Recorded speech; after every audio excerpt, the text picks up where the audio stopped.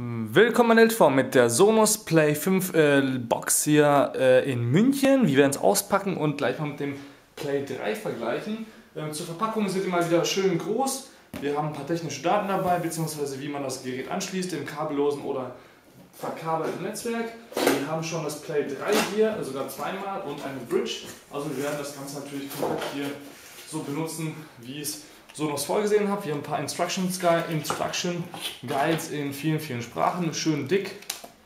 Und äh, ja, hier haben wir nochmal das Bild, wie kann man die Musik vernetzen, beziehungsweise hier haben wir noch eine CD dazu. Das ist nicht sehr spannend.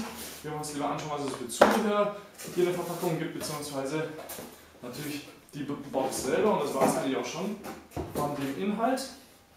Ihr könnt sehen, schön groß das Gerät. Ich habe hier das Dreier noch nebenan, das könnt ihr derweil vergleichen, während ich hier diese kleine Box hier auspacke.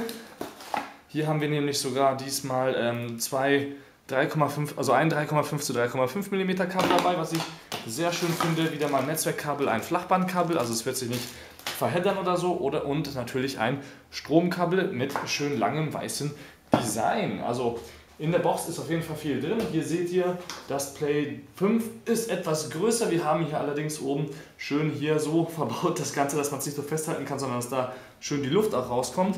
Und wir haben gleich zwei Netzwerkbuchsen dabei, Kopfhörer und äh, Line-In-Eingang mit dazu und ein äh, Stromanschluss. Im Vergleich dazu, die Play 3 hat nur Netzwerkanschluss, Strom und ähm, ein Antennenanschluss, würde ich sagen. Das war vergoldet hier.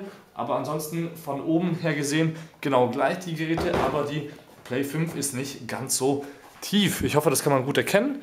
Genau, und das war es eigentlich auch schon mit dem Unboxing der Play 5. Den Ton werden wir natürlich noch ausführlich bewerten, beziehungsweise wie man das Ganze im Netzwerk hier gebrauchen kann. Mein Name ist Barschgal und ich hoffe, ihr hattet ja, Spaß bei dem Auspacken des Play 5 ähm, Lautsprechers. Bis zum nächsten Mal bei NLTV. Ähm, mein Name ist Barschgal.